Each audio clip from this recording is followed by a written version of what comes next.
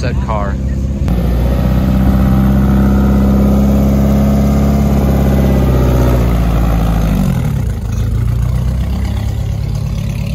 That's the biggest remote control car I've ever seen.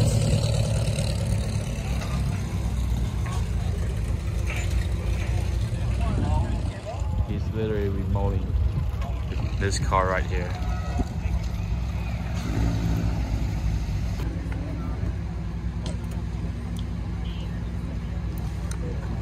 This is trippy guys. No one in the car and just remote control.